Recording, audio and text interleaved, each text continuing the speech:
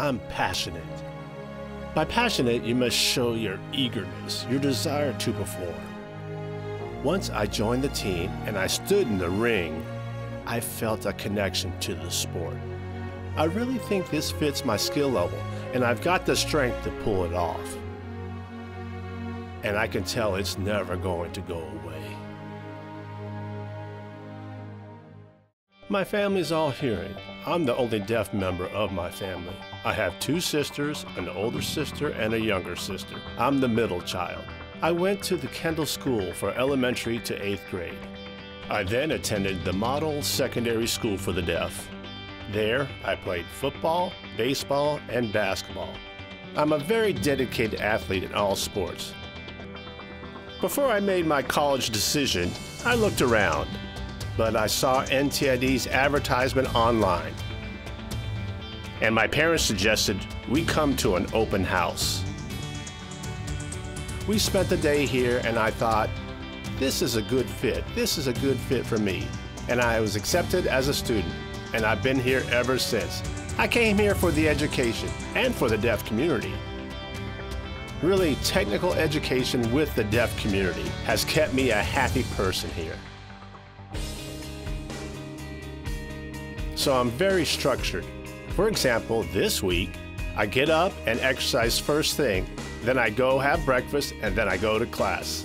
Grab some lunch, do some studying, go back to class and then I go to throwing practice.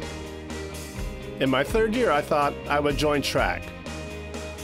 I hadn't joined it before, I had no experience, and I thought, you know what? I want to go ahead and join track. I'm going to do this. I hadn't experienced it as an undergrad before now, and I really enjoy it a lot. Really, it's my passion. I love doing it. I love competing. I really enjoy the team.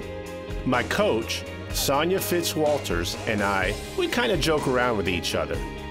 At the same time, we have a level of respect for one another. She spent some time giving me feedback. For the most part, we have a very positive relationship.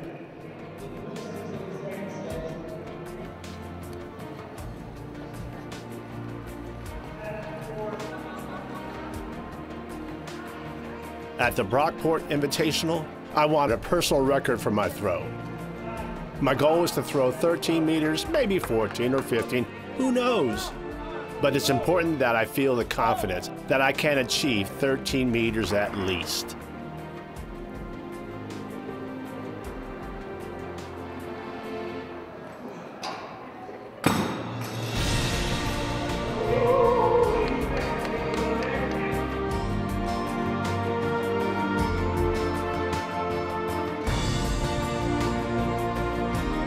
I would tell aspiring athletes that if you have goals, that you must start pursuing them now. You must train and practice now. You can't put that off. So I'd encourage all deaf athletes, look at your potential.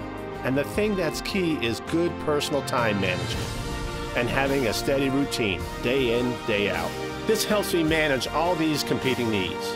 You should listen, have an open mind, know that you can do it. I would be very encouraging on them that they can do it if they desire to.